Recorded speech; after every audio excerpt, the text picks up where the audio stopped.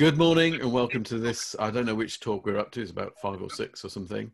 Mm. Uh, and I'm going to be talking about corners and bends. Now, I had a particular problem with this. This is why there's been a long delay because I, I kept creating the presentation and then thought corners and bends. Well, we all know about that. What else can I do? And the more I got into it, the more I started looking at accidents and statistics and so on.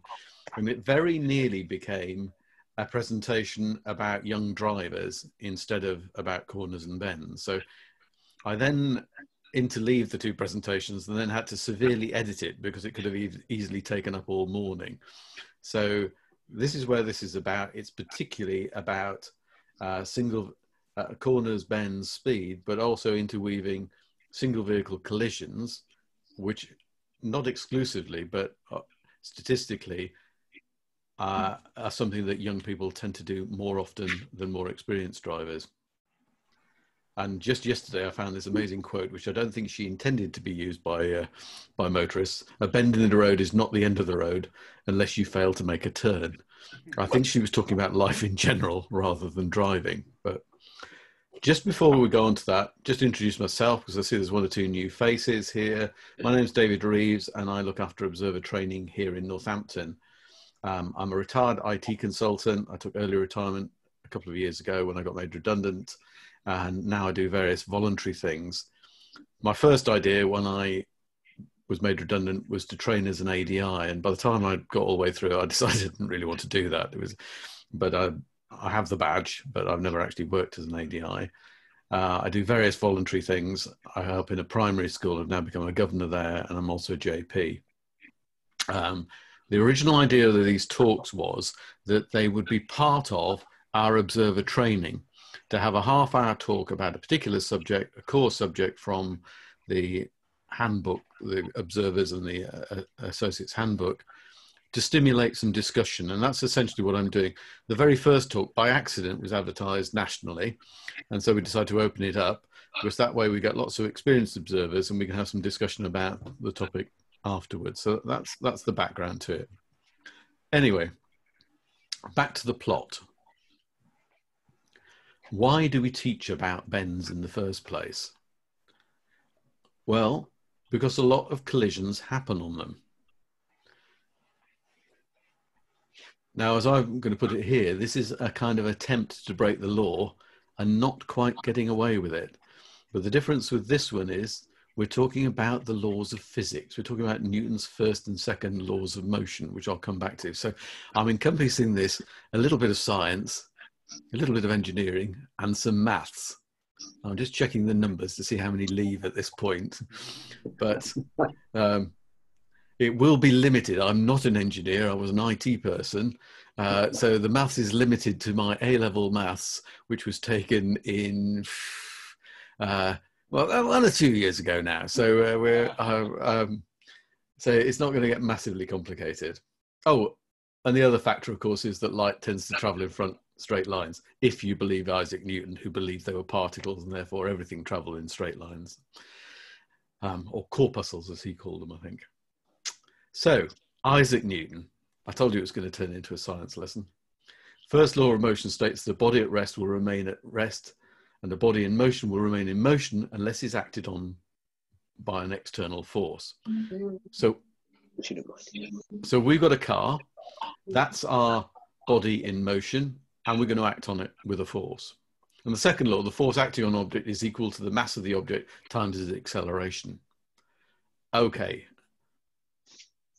here's a car going around a corner, a bit of cornering. So if if we didn't have an external force, the car is going to, it won't quite be as wavy as that. That's me trying to draw a straight line with a mouse, but the car will just carry on straight ahead. But if we apply a force to there, let's imagine for a minute that this is like a toy car and I've got a piece of string or a rope. I can stand in the middle and I can apply a force towards the center of this curve. And the, the question really is, how much force do I need to make it go around that precise circle? Now, again, I don't want to hear from any actual engineers out there because my, as I say, my maths and my engineering is limited to about A level standard, and that was quite a few years ago. But basically, the formula looks like this. It's that's the force you need, and it's equal to the mass of the car. So if the car is bigger, heavier, literally more massive, you will need more force. So if this is double the weight, you'd need double the force. On the other hand, we've got r is the radius of the circle. If it's a great big circle, if we double the size of the circle, well, we don't need as much force. We need half as much force. On the other hand, if we make it a much tighter turning circle, we need more force. Uh, and that's indicated by r. But the most important bit is that is that it's proportional or it's related to v squared. v is the velocity, it's the speed we're going around. So if I double my speed, I need four times as much force. Okay, I'm not going to dwell on that too much, but we have an equation for the amount of force I need to pull this car round a corner. Okay, how much force have we actually got and where's it coming from? Now, I could stand in the middle of H corner with a large rope and pull them around, but clearly that's not what happens normally. Normally, it's done by steering, and so the tires, the steering, is pulling it towards the center. Clearly, that's what happens. That's when we steer a car. We know that we drive cars and other vehicles. So, where's that force coming from? Well, this is due to the frictional forces between the tires and the road, and it's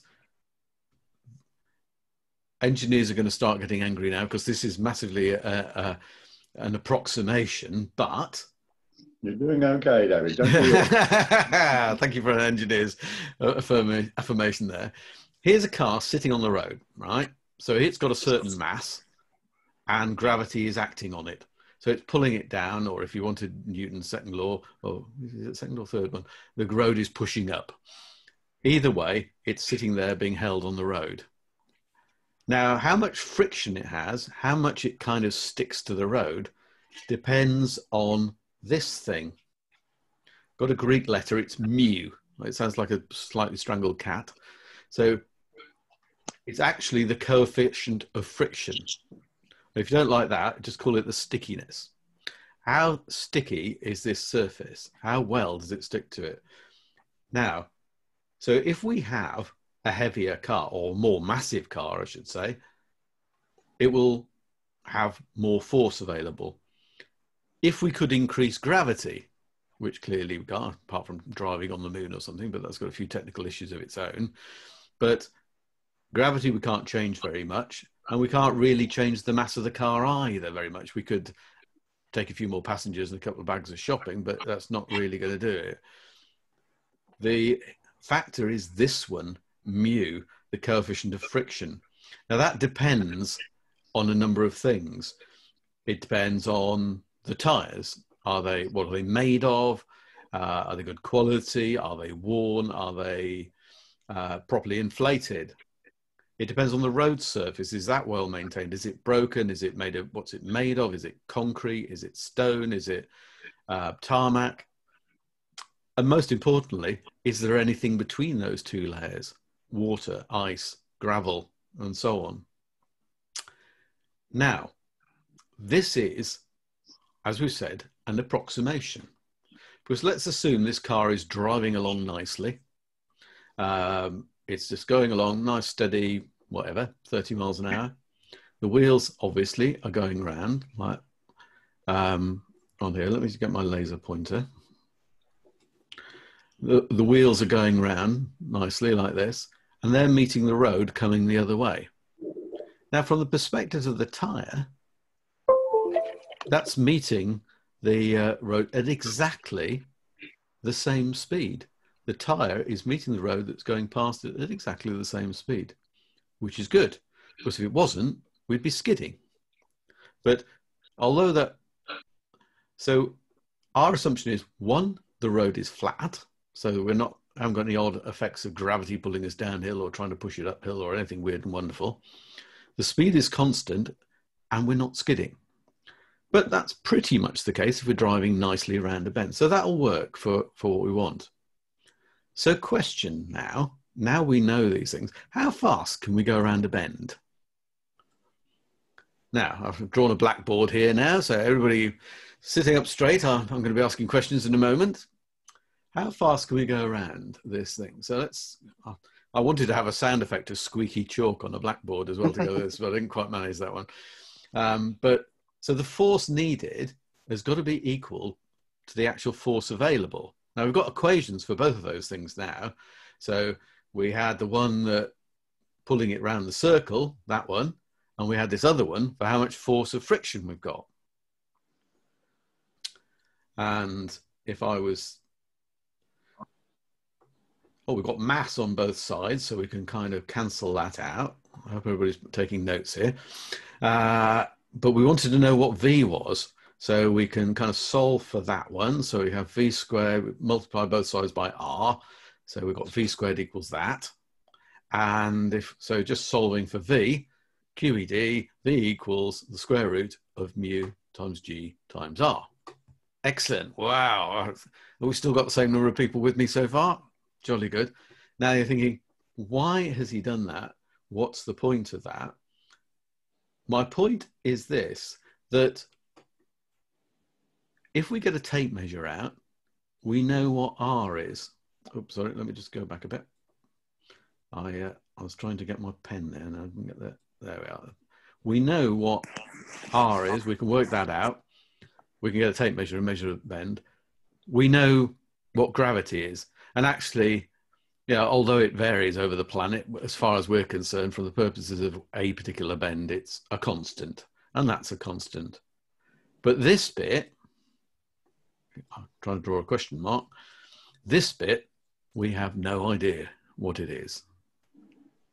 There are ways of working out what it is, but as we drive along, it's constantly changing because of those conditions that we talked about how wet it is, whether it's snowy, whether it's icy, what the condition of the road is, and so on and so on. So we never know quite what that is. Now, if we're a racing driver or a, you know, one of these people who are particularly skilled on a track or for that matter, um, uh, rally drivers are quite skilled at getting just to that point and just feeling when they're going over that. Because although I'm saying that is the absolute theoretical maximum, there is a point when the car is starting to skid and the tires are just starting to not obey those rules, that kind of envelope. And drivers like that who are on the limit of adhesion can feel where that is and just back off very slightly. So, with a lot of skill, that can, that be, done. can be done. Now, I can't do that. Um, you know, for ordinary mortals driving on ordinary roads, we need some other method. So, why the heck? How the hell do we manage to drive along every day without flying off and misinterpreting what that speed is? Well, mainly because we don't use that at all. Mainly because when we're driving along, we base it on visibility instead. We say, oh, I can see up to this point up here, and um, therefore I need to stop by the time I get to that, be able to stop by the point I get that point. And in nearly all conditions, that is a lot slower than the theoretical maximum that I could go through there. If I was a racing driver, I may be able to do that bend at 100 miles an hour, but I'm certainly not going to do that in my ordinary car in ordinary conditions with the risk of somebody coming the other way. And the bottom line remains I still don't know what that is, that mu factor, that coefficient of friction, and therefore what the speed will be. Now, there are various techniques for working that out. Um, if you investigate crashes and stuff, there are sophisticated equipment and things that can measure it and all sorts of things. But there is a there is an empirical technique. You can try this. Um, I'm going to call it the boy racer technique, and it works like this. Now, if we re- rearrange that uh, formula, v squared over gr, we can find what mu is. Okay, stage one. Stage two, we go over exactly the same bend at different speeds. So each time we increase our speed incrementally, let's say by five miles per hour, until the radius driven no longer matches that of the road. At which point we've found that magic speed, we can plug all the numbers in and we can find out mu. The problem is it's slightly too late. Now, okay, I am being slightly facetious here, but this is actually kind of what happens. Now, when I looked at this, and I spent quite a lot of time looking at the statistics and the research on this one, single vehicle collisions, so no other car involved, 33% of all accidents, which is quite a high number really, because you generally we think of accidents of colliding with another vehicle. I, I, know there's a, you shouldn't really use the word accidents, we should say collisions or crashes or something, but i am using it interchangeably now. Mm-hmm. But there's a few, not, there's a lot of anomalies actually with these accidents. 81% of them are male drivers. And they're often young. And the peak times are weekends, particularly Friday night, and late, 11 p.m. onwards to midnight. And I thought, well, obviously, it's people get used to the road conditions, and then suddenly that coefficient of friction changes because it's rained or it's suddenly muddy. They go around a bend they're un- they're familiar with, and now it's got a different uh, coefficient of friction. And they go, no, 80% are dry conditions. So something weird and wonderful is going on with these.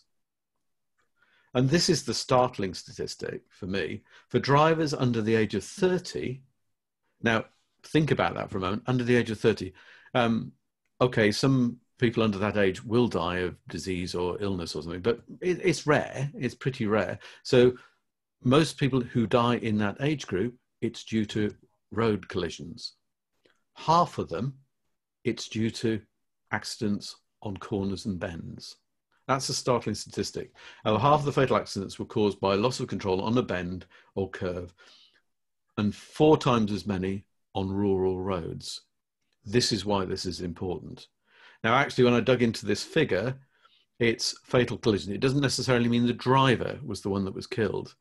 Um, young drivers are quite good at killing their passengers, and this is more tragic because very often their passengers are younger than them because they're the first one to learn to drive or something. So this is this is really quite a a, a tragic, literally a tragic um, mm. condition. But you might think, well, for those that survive it, they've learned a valuable lesson. Now, this is from police interviews. The, the study that I took those figures from also had some interviews with people who had crashed and were interviewed by the police after this. And this is why they thought they'd crashed. I wasn't doing anything wrong. It just went. I wasn't going too fast. It just went. Well, I was all right yesterday when my friend drove, drove around it. I feel it was because of the road surface. So basically, they've no idea what just happened to them.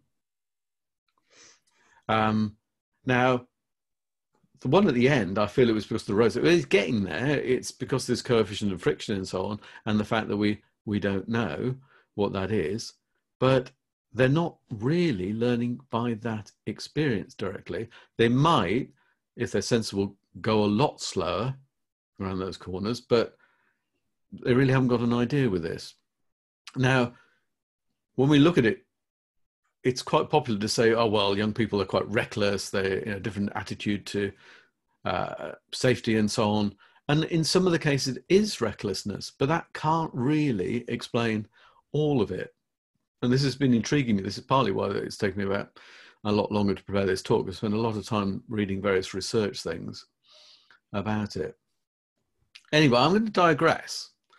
Back in 1995, when I first joined the IAM with a really good group up in Warrington, I think it's still going, but I, I which but I commend them uh, at that time because they had a lot of social activities as well. And while I was still, I think I was still training as an associate. I don't think I passed my test at that stage. They had, there was a, an open day, open day, a skid pan day anyway, at uh, anybody from Manchester, it was off, at the bus stop depot off Hyde Road in Manchester, which had its own skid pan for double decker buses. Uh, is that a comment from the dog? or he always barks at buses. Um, and it was it was very good, but you could drive your own car. I didn't get to drive a double decker bus on that occasion around the skid pan. That would have been dramatic.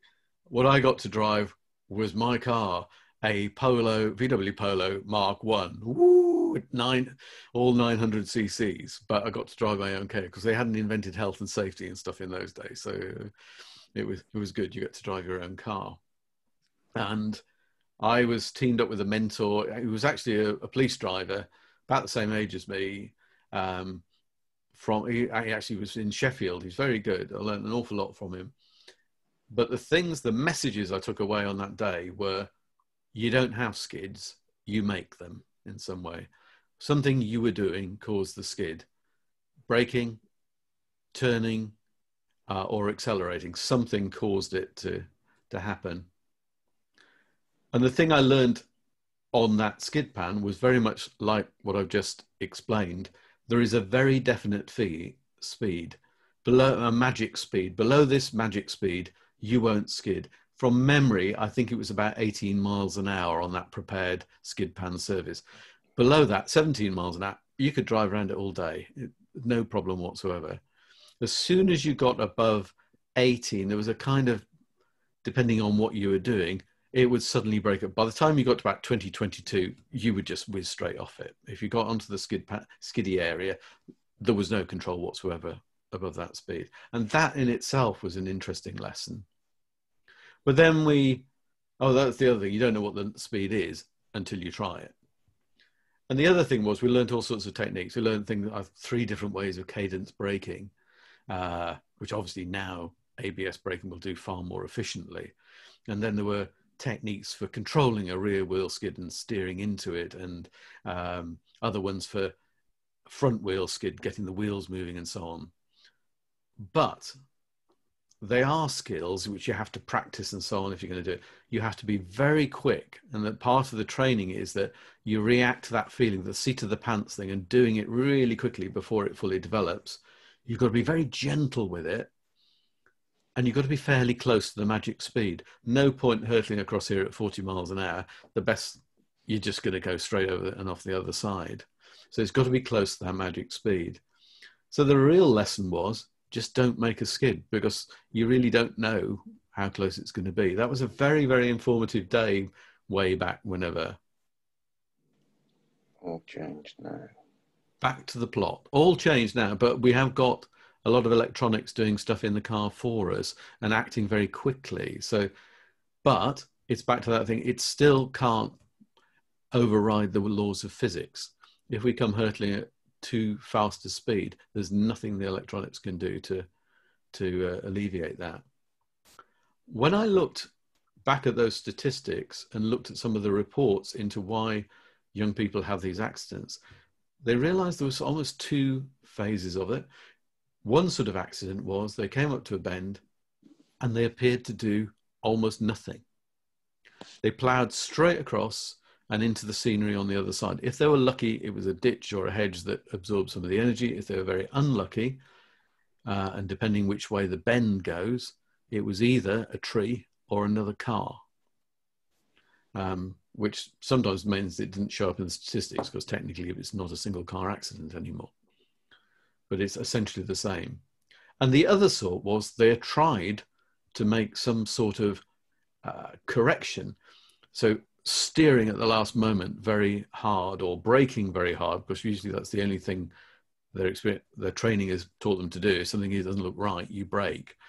Um, and sometimes they initiate a partial recovery that might actually make the skid go in the opposite direction or make it worse. Now, the, the upshot of that was often the second category landed up colliding with something, the car or the tree, but going in the wrong direction. So, going the back end of the car hitting first or the side of the car. And depending on the car, obviously, bigger, more expensive cars have side impact protection and side airbags. Small hatchbacks traditionally haven't. Uh, things are changing. So sometimes the injuries in the second one were worse than the just piling straight into it at full speed, as it were.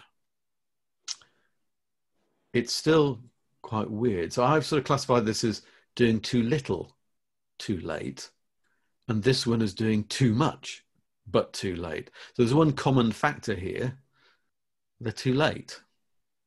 And this still doesn't make any sense to me. So, because these don't match ordinary accident statistics. Usually, if you look at overall accident statistics, they happen when there are more cars about, more traffic. You know, the more cars there are, the more higher the probability of them bumping into each other. It is essentially as simple as that. So, overall, traffic, there tends to be more accidents on weekdays. There tends to be more in the morning commute and the evening commute, whatever that is, seven o'clock till or six o'clock till nine o'clock, whatever. But those tend to be, and weekdays, peak times. That generally speaking, that's when there are more accidents. But these don't. These happen, as I say, they happen at weekends and they happen later, more frequently later. They can happen any time, but they they more frequently at those times.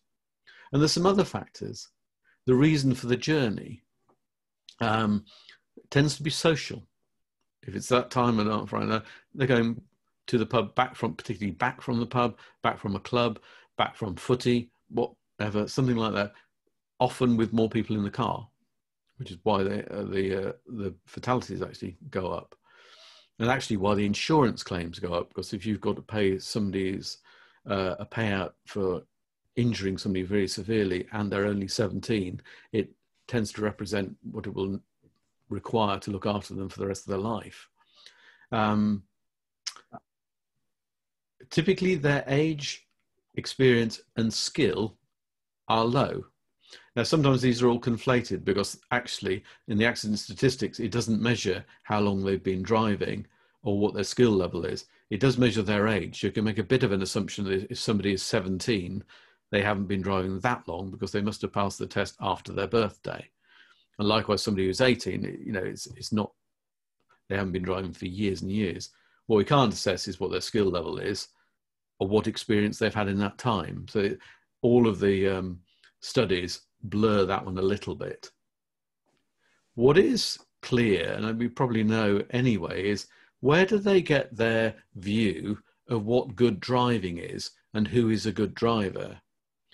Well, like everything, like think back from when you were you get it from your peer group, you get it from other drivers your same age, the person who's got the, I don't know, sporty car or whatever. But although you do take information from your parents and other factors, it tends to be your peer group, your friends, your mates, people on Facebook, whatever it is, and given that they're in the same set, they're also young, also therefore limited in experience and possibly low skill level.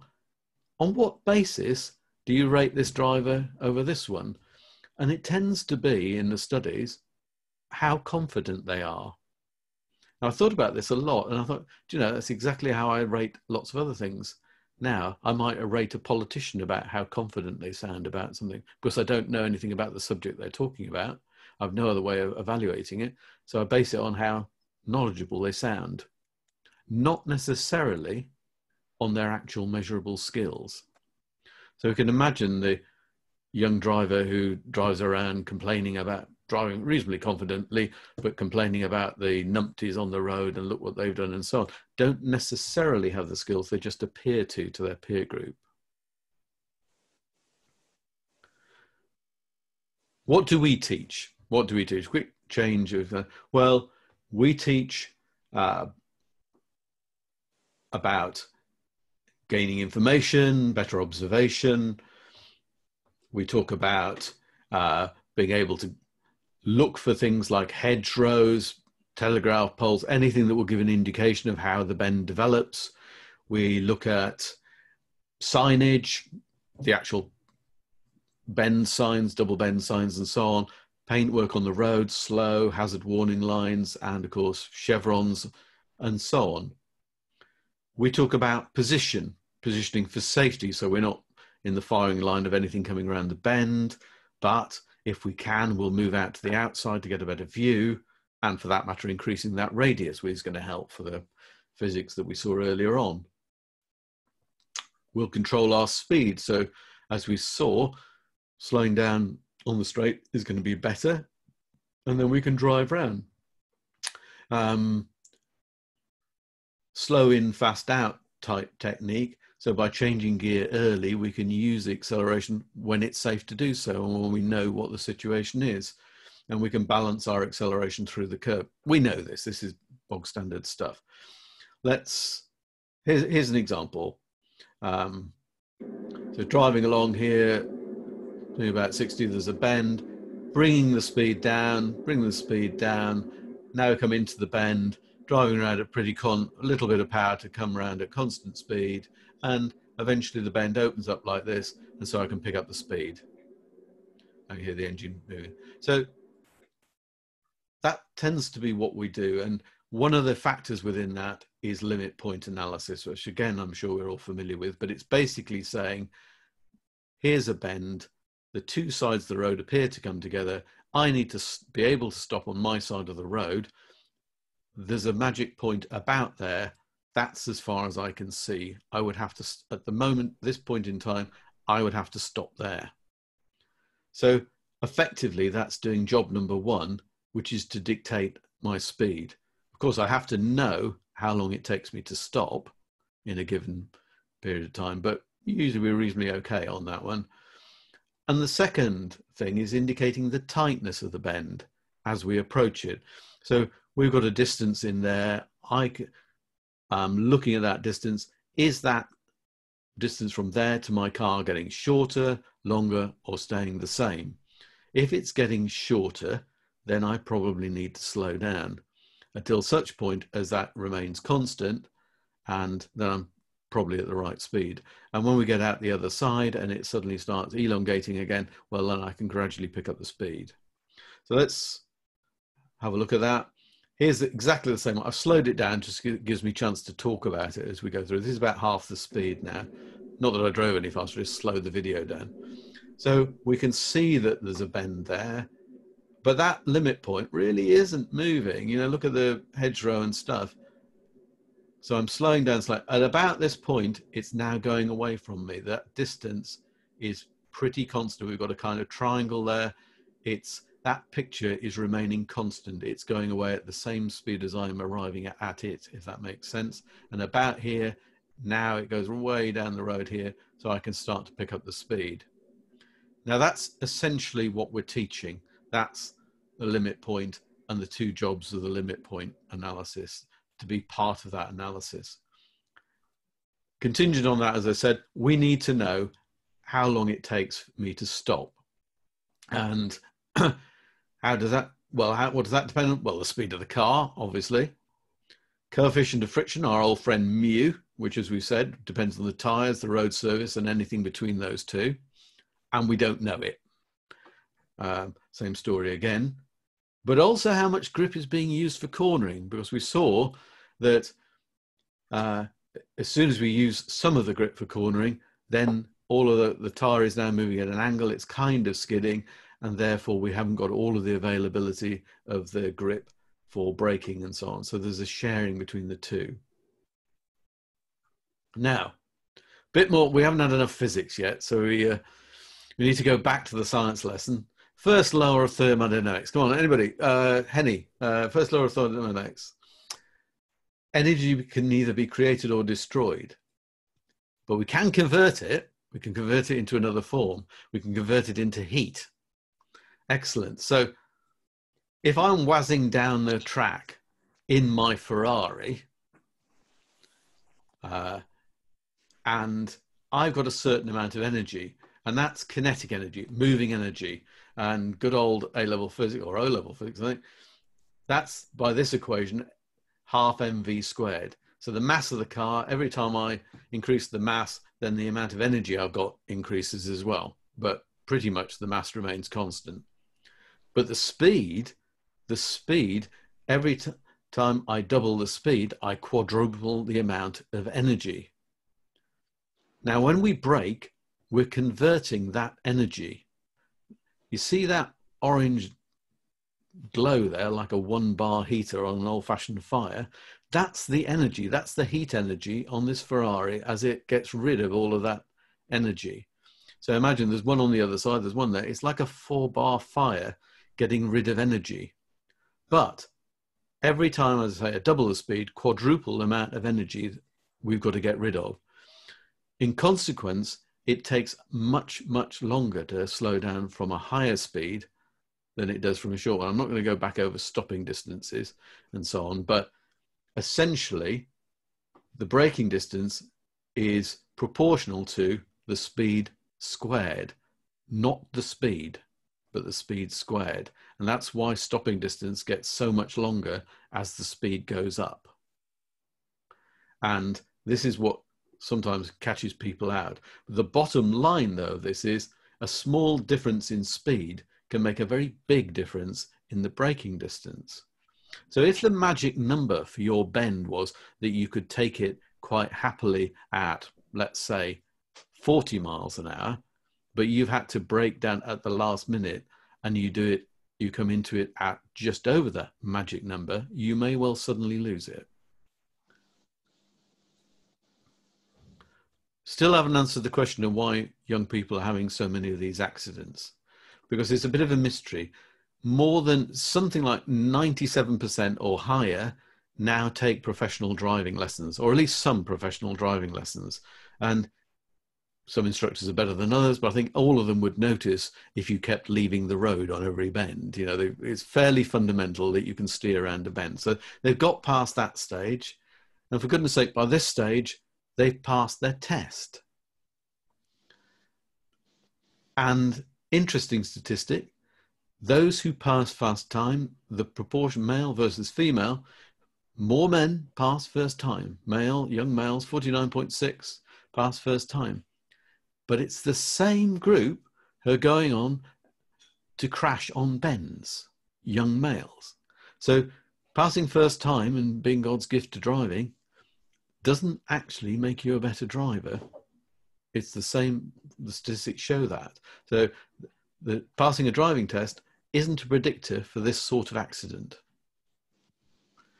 There are plenty of warnings on the road bends signs and so on and then there's the actual observation of the bend itself what other traffic's doing chevrons slow warnings on the road so something else is happening there's lots why after all this stuff are they still doing this now, looking at the evidence, it comes down to distraction, but I'm using that in a very general sense.